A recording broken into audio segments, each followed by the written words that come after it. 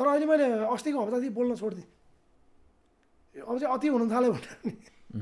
अब यहाँ चाहिँ अब वि- वि- विश्व लिम्बुजीको प्रोडकास्ट भने चाहिँ कसरी छोड्ने भन्ने नि भयो।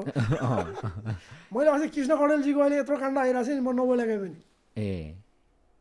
मैले मेरो च्यानल मोबाइल टिभीमा चाहिँ सबै भिडियो हालिदिइरहेको छु। म बोलेको छैन सबले मलाई फेरि होइन मेरो मेसेन्जर खोलेर हेर्नुहोस्। केही नभने बिस हजार पचास हजार मेसेज छ बोल्नु पऱ्यो भनेर कृष्ण कणेल सरको बारेमा। कृष्ण कणेलको बारेमा बोल्नु पऱ्यो नबोल्ने तपाईँ। यहाँ पनि नबोल्ने। अहिले अहिले त बोलिहालेँ नि म किन नबोल्या भने होइन मलाई दुवै पछि ठिक लागेन कि। ए दुइटै ठिक। बोलेपछि एउटाको सपोर्ट लिनु पऱ्यो होइन? अब कृष्ण कणेलजी एकदम मेरो एकदमै आत्मीय मित्र हुनुहुन्छ। अब यतापट्टि शर्मिला श्रेष्ठ झन् अझ आत्मीय मित्र हुनुहुन्छ। कसको सपोर्ट लिने मैले? मैले त दुइटैको गल्ती देखाएको छु कि।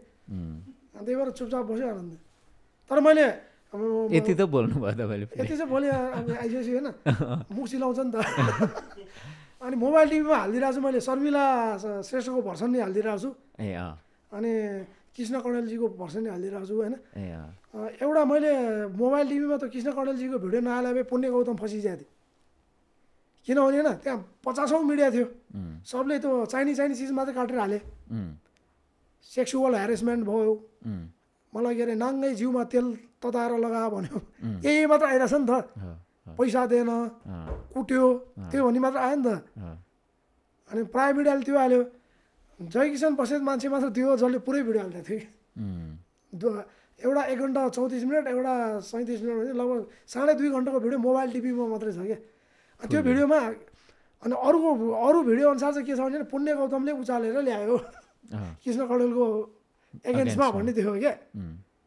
अनि अहिले पुण्यजी जहाँ इन्टरभ्यू गए पनि होइन मोबाइल टिभी हेर्नुहोस् मोबाइल टिभी हेर्नुहोस् भन्दै हिँडिरहेको छ कि अनि त्यो बाई चान्स त्यही भिडियो फेरि झन्डै नै वान मिलियन पुग्नु उम्, युट्युबमा वान मिलियन पुग्नु भनेर धेरै हो नि अहिले। धेरै हो धेरै अहिलेको डेढ घन्टाको भिडियो। तपाईँको च्यानलमा वान मिलियन पुग्न लाग्छ। पुग्नु लाग्छ।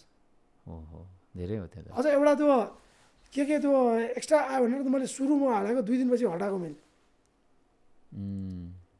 त अहिले वान मिलियन छोइ नै सकेको हुन्थ्यो त्यो। मैले रिपिट हालेको क्या त्यो। त्यही पनि राति साढे बाह्र बजी हाल्थेँ अँ, किनभने मैले म खिच्न त खिचेँ। तर मैले खिच्यो तपाईँले? होइन मेरो मान्छेहरू छ नि ए त। ए ए अँ, त्यो प्रेस मिट जहाँ भएको थियो त्यो हाम्रै अखाडा त्यही हो कि? जहाँ फ्रीमा बोल्न पाइन्छ। पैसा कसैले लिँदैन। त्यो मनोजजीको हो कि कसको हो त्यो? मनोजी त भित्र हुनुहुन्छ नि त्यो हाम्रो साझा हो त्यो। ए। साझा त्यो भोइस अफ नेपाल भन्ने छ।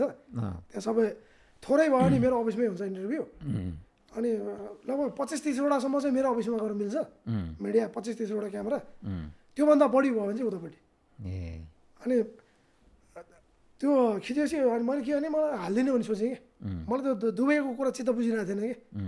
त्यहाँ कृष्ण कणेलको पनि गल्ती छ शर्मिलाको पनि गल्ती छ कि? हाल्दिनँ भनेर बसेँ अनि साढे बाह्रतिर छ बिउजी। बिउजी के भएको छ त भनेर टट्टा यसो स्कुल गर्दै गएँ होइन? हेर्छु है कोही दुई लाख कोही पाँच लाख गइरहेछ क्या भ्युज। अनि म म मात्र किन उल्लु जस्तो लाग्यो? ल त भनेर मैले पुरै सिँगै हालिदिएँ क्या अनि फेरि हाले अब त्यो लामो भिडियो डेढ घन्टाको फेरि त्यो प्रोसेसिङ हुन टाइम लाग्यो। ल खै कति बजी भयो कुनै थाहा छैन एक दुई बजीतिर प्रिमियर राखेर अँ, भोलिपल्ट हेर्छु त पाँच लाख उठिसकेछ अँ, त्यो चिजले धेरै कृष्ण कणेललाई पनि सेभ गर्यो। शर्मिला श्रेष्ठलाई पनि सेभ गर्यो। पुण्य गौतमजीले पनि सेभ गर्यो। त्यो कैयौँ मिडियाहरूलाई म त्यही भएर भन्छु कि त्यो चाहिने चिज आफूलाई मात्रै हेर्ने होइन कि? डलरै कमाउने मात्र सोच्नुहुन्न कि? त्यो कृष्ण कणेलले यौन ह्यारेसमेन्ट गर्यो पैसा खायो मात्र त्योपछि त कृष्ण कणेल मात्रै झुट देख्यो नि त। एउटा अलिकति चाहिँ बोलिदिन्छ त कृष्ण कणेलको बारेमा मलाई एकदम उहाँको एउटा गजब के लाग्यो भने होइन त्यहाँ उहाँको ड्राइभरले के भन्यो भने होइन कृष्ण कणेलले चालिस हजार तलब दिन्थ्यो अरे महिनाको। एउटा प्रोग्रामको आठ हजार भत्ता दिन्थ्यो अरे। महिनाको कति हो त्यही त मेरो ड्राइभरले मेरो गाडी चलाउनु छोडेर हिँड्यो भने। त्यो त्यहाँ सुनेर उहाँ रियल घटना भने मैले। ऊ पुण्यजीहरूलाई थाहा छ सोध्नु त। चालिस हजार तलब। अनि ल इन्द्रेणीको द महिनामा दसवटा प्रोग्राम ल मानिलिउँ लगभग हरेक दिन जस्तो हुन्छ। काठमाडौँ बाहिरको एक्स्ट्रा भत्ता अरे फेरि। दसवटाले कति भयो महिनामा? अस्सी हजार। असी हजार। असी प्लस चालिस कति भयो? एक बिस अनि एउटा गाडी चलाउने मान्छेलाई एक एक लाख भित्र एक लाख बिस हजार अझ घटाइदिउँ ल। बिस हजार घटाइ एक लाख। त्यो नि छोड्यो पचासै हजार ल। धेरै राम्रो होइन र? मेरो ड्राइभरले त्यहाँ उ गर्यो। जय दाई। कृष्ण कडेलको ड्राइभरले चालिस हजार तलब खाँदो रहेछ मलाई चाहिँ किन बिस हजार अब म कहाँबाट ल्याउनु चालिस हजार अन्त तेरो कृष्ण कडेलले दुनियाँसँग चन्दा उठाउँछ त तेरो जय दाईले त उठाउँदैन नि? भनेर लगाइदिएँ कि मैले होइन कृष्ण कडेलसँग पो चन्दा उठाएको पैसा छ त जसरी मन्दिरमा हामीले पैसा चढाउँछौँ नि इन्द्रेणी भनेको होइन कोही मान्छेले पाप हाल्नु छ भने त्यहाँबाट पैसा फाल्छ अरे के? उम्, त्यस्तो है। एउटा आस्था हो नि त। त्यहाँ त कति छ थाहा नै छैन के? अथाह असीम अथाह छ त्यहाँ अनि अब यो कुरामा बोलेर हुन्छ त अब कृष्णकरणले राम्रो गरिरहेको रहेछ नि त ड्राइभरलाई अनि अर्को एउटा कुरो छ त्यहाँ। के कणेल हो? कृष्ण कणेलजीको आफ्नै मान्छे हो है। उहाँको मिसेसले के बोल्नुभयो भने होइन कृष्ण कणेलको स्वाहिनी चाहिँ त्यत्रो लाखौँको साडी लाउने करोडौँको गहना लाउने पूर्ण कणेल लाउँछ है मलाई थाहा छैन के कणेल होइन। फलाना कणेलको बुढी चाहिँ म यस्तो हो भन्यो कि? त्यो भन्न पाइन्छ त। मानिलिउँ तपाईँको अफिस भयो। अफिसमा पिउनदेखि चेयरम्यानसम्म हुन्छ नि त। होइन? अहिले पिउन भन्न मिल्छ कि मिल्दैन? आजकल त फेरि चेयरम्यान सेन्सर भन्छन् फेरि। थाहा छैन मलाई त फेरि। सहयोगी भनौँ न कार्यालय सहयोगी। म भन्छन् नि त। अहिले लोकतन्त्र भने जे पनि बोल्न पाउँछ भन्छन्। ठेट ठेट शब्दहरू चाहिँ बोल्न पाइँदैन भनिदिन्छन्। हिन्दीमा बोलौँ कि कि इङ्ग्लिसमा बोलौँ? जस्तो एउटा लो लेभलको कर्मचारी र चेयरम्यानको दाजु त हुँदैन नि त। अनि अर्को एउटा मान्छेले के भन्छ भने खै उसको तलब चाहिँ कति साठी हजार कति रे होइन? किसन कडेल एक लाख लिने किसन कडेलको स्वाहिनीले एक लाख लिने भन्छ त भन्नु पाइँदैन नि त। किसन कडेल त चेयरम्यान हो नि त त्यहाँको। होइन? अनि जस्तै पिउनको श्रीमती र चेयरम्यानको श्रीमती चाहिँ एउटै हुँदैन नि त। अनि जति पनि कुरा सुने त्यहाँ सुन्दाखेरि किशन कडेलले जे उसले हिसाब किताब पारदर्शिता चाहिँ नगरेकै हो। यसमा मैले धेरैचोटि विरोध गरेको छु। कृष्ण कडेलले मेरो बेलामा फाइट पर्छ नि तपाईँलाई थाहा थाहा छैन। पर्छ। म यस्तो बोलिरहेको हुन्छु। म म त अन्याय अत्याचारको विरुद्ध जहिले नि बोल्ने हो। तर यहाँ कृष्ण कडेलले त कर्मचारीहरूलाई राम्रै गरेर राखेको रहेछ नि त।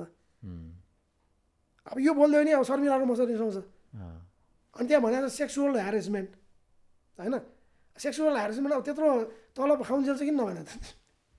त्यो हिसाबले त के अरे कृष्ण कडेल त अर्को पल छ अर्को सन्दीप लामिछाने हुने हो। होइन र? सेक्सुअल ह्यारेसमेन्ट गरायो भने त्यही बेला भन्नु पऱ्यो नि त। पुण्य गौतमजीको भनाइअनुसार शर्मिला श्रेष्ठ त मास्टर डिग्री गरे मान्छे अरे अनि त्यहाँ फेरि जति पनि त्यहाँ प्रेस मिटमा आउनुभयो सबै दस वर्ष पन्ध्र वर्ष एउटा त पच्चिस वर्षदेखि सँगै थियो अरे पच्चिस वर्षसँग त गर्दाखेरि त्यही मान्छे भगवान् भगवान् भन्ने जब जाहिरबाट निका निकालेपछि यो राक्षस भन्न पाइन्छ। एउटै मान्छे भगवान् पनि राक्षस पनि हुनै सक्दैन। भगवान् भगवानै हो राक्षस राक्षस नै हो। कृष्ण कडेल कि राक्षसै हो कि भगवानै हो। अनि त्यहाँ अर्को एउटा के ल्यायो भने इन्द्रेणीको हिसाब किताब कहिले पनि पारदर्शिता हुँदैन। त्यहाँ हजारौँजनालाई दिए भनेर पैसा पठाएको हुन्छ अरे। अनि दसजनालाई दिएर होइन क्यामेरामा खिचेर अरू सबै खान्छ अरे। उसको एकाउन्टेन्ट उसको कार्यालय को हिसाब गर्ने मान्छेले बोले। त्यो हिसाबले कृष्ण कौडेल गल्ती देख्यो होइन। त्यो बोल्ने मान्छे चाहिँ के हो त? उसले त्यहाँ जाहिर खाउन्जेल चाहिँ किन सही भने त?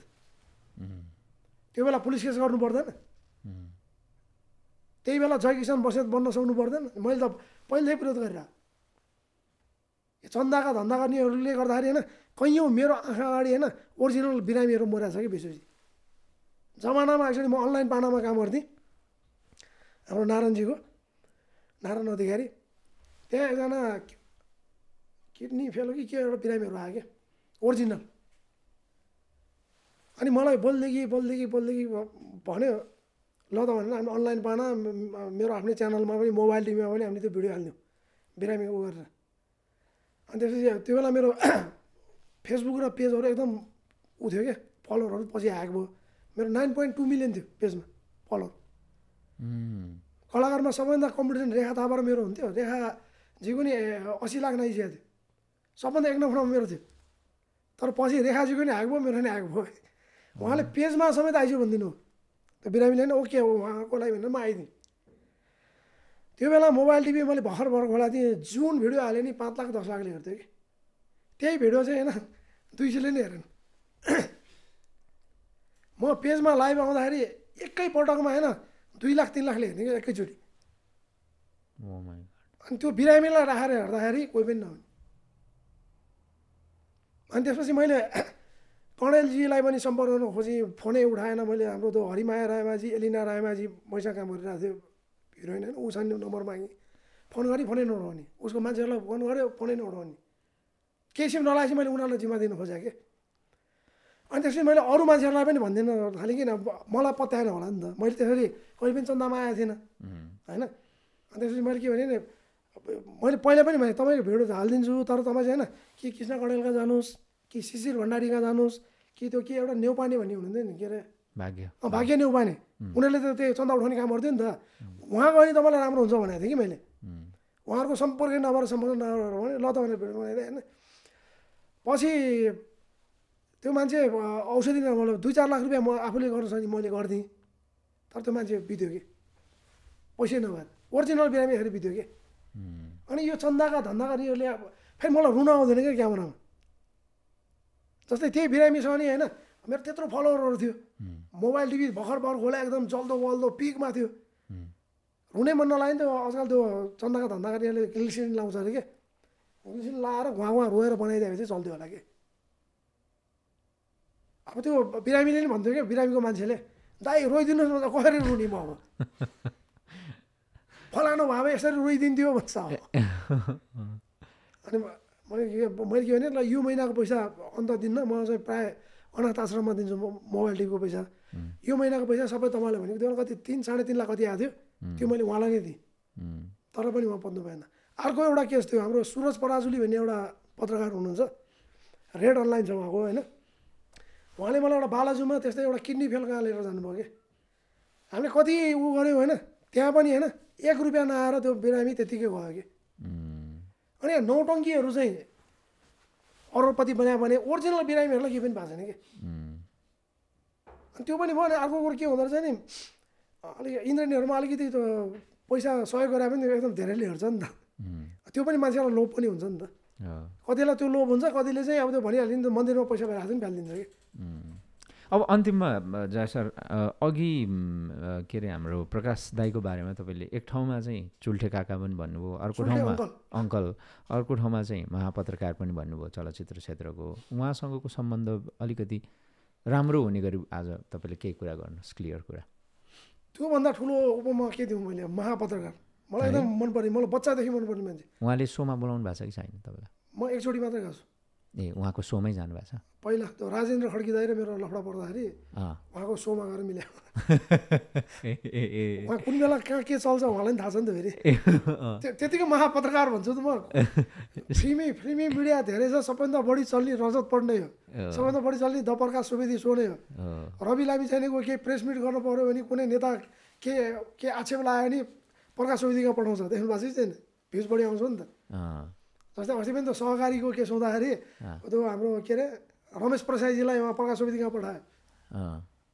त्यति पपुलर मान्छे हो नि त प्रकाश सुवेदी चाहिँ एउटा उहाँले मलाई बुझ्दै नबुझी टिकटकको भिखारी भन्यो अँ, मैले केटीको दलाल भन्दै पहिलो त्यो बेला। त्यही मिलिसक्यो कुरो। छैन उहाँको मेरो त्यति कुरै हुँदैन। अनि फेरि पछि नै पऱ्यो नि त्यो पर पल्साको बेलामा पनि पऱ्यो उहाँ पल्साको विरोधी म पल्साको सपोर्टर उहाँमा जहिले पनि एन्टी के। अब भएको त्यस्तो। तर प्रकाश सुवेदी होइन नेपाली फिल्मलाई नभई नहुने पत्रकार हो। नेपाली फिल्म इन्डस्ट्रीमा अलिकति जति नाम छ त्यो बनाउनमा प्रकाश सुवेदीको धेरै ठुलो हात छ। किनभने कलाकारहरू प्रकाश दाईसँग डराउँछ कि। अरूसँग डराउँदैन उम्, प्रकाश सुवेदीले ल्याउँछ भन्छ। मेरो मेरो साथीहरूले भन्छ। मेरै फिल्ममा नयाँ कलाकारहरूले धोका दियो भने प्रकाश सुवेदीलाई भनिदिउँ भने चुलाएर बस्छ। अझ विशेष गरी हिरोइनहरू ठिक छ Jai sir thank you for coming जे होस् तपाईँले खुलस्त भएर दिल खोलेर कुरा गर्नुभयो होइन? यही अपेक्षा थियो तपाईँले दिल खोलेर जे होस् चलचित्र क्षेत्रका विकृति विसङ्गतिदेखि लिएर यो अब समाजसेवा होइन? अहिले अभियन्ता यी सबै कुराहरूमा तपाईँले खाटी कुरा गर्नुहुन्छ भन्ने हिसाबले पनि आजको संवाद हामीले गरेका थियौँ र जुन कुरा तपाईँले एकदम दिल खोलेर नै गर्नुभयो र चलचित्र क्षेत्रका धेरै कुराहरू पनि भए। Thank you so much for coming sir विश्वजीलाई पनि धन्यवाद। म सधैँ हेरेर नि मैले भनिहालेँ जमानाको सब्सक्राइबर हुँ। थ्याङ्क यू थ्याङ्क यू पहिलोचोटि यहाँ आउनु पाउँदा नि मलाई खुसी लाग्यो। अलि लामै पनि भएछ। दुई घन्टा बोल्यौँ हामी दुई घन्टा पन्ध्र मिनट जति बोल्यौँ। ठिक छ पोडकास्टहरू लामो पनि ठिकै छ होइन? अँ, योपालि अलिकति गाली खाउने गाली पनि खान सक्छु यो इन्टरभ्यूबाट होइन? म पनि कमेन्टमा अल्झेर बस्दैन मान्छे चाहिँ होइन? हेर्न चाहिँ हेर्छु होइन? यसले फलानले मलाई यो भने यो भने म त्यो छैन कि? म कुनै पनि कुरा बोल्दाखेरि होइन केही न केही नसोची बोल्दैन कि? अँ, जस्तै अहिले मैले रवि लामी छानेको बारेमा बोलेँ नि त्यसमा त मैले ठुलो कुरा बोलेँ हो नि त त्यहाँ किन बोलेँ भने मसँग धेरै चिज प्रमाणहरू छ नि त होइन? जस्तै पहिला म धुर्म सुन्तलीको रङशालाको बारेमा बोल्दा नि त्यो नि भयङ्कर गाली गर्थ्यो कि मलाई। सुरु सुरुमा। तर पछि जब बुझेपछि जय किसन आए भन्न थालेँ नि त। हाम्रो देश यस्तै हो त्यो मलाई थाहा छ। योपालि गाली ताली जे आओस् हाम्रो विश्वजीको च्यानलमा अर्कोचोटि एकदमै नितान्त व्यक्तिगत इन्टरभ्यू दिन पनि आउने छु चाँडै नै त्यो बेला चाहिँ रमाइलो गरौँला। हस् हस्। Thank you so much for coming. Thank you thank you हस्।